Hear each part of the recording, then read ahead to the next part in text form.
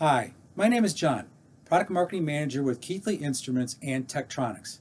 Today, I'm proud to introduce the new 2601B Pulse System Source Meter 10 microsecond pulser source measure unit instrument with its new pulse meter technology for outputting high fidelity current pulses as high as 10 amps and with pulse widths as short as 10 microseconds.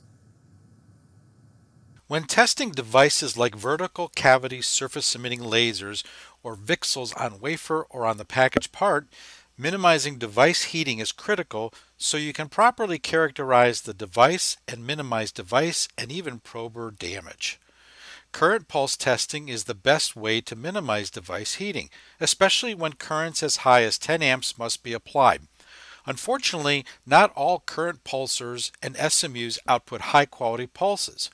Output pulses can have overshoot and long rise and fall times, all of which could result in poor measurements and potential device damage.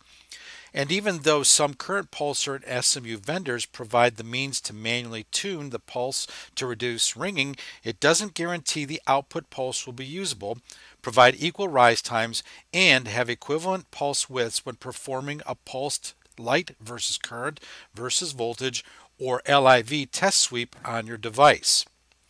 What if you no longer had to deal with manual pulse output tuning, especially in production tests where tuning can be a burden?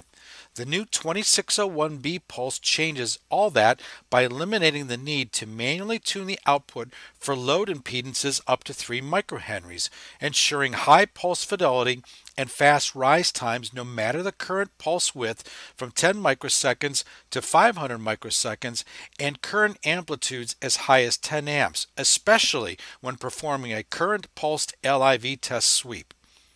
The key benefit to you is the 2601B Pulse's ability to maintain fast rise times no matter the pulse width and the amplitude, ensuring high quality current pulse sourcing and measurement performance.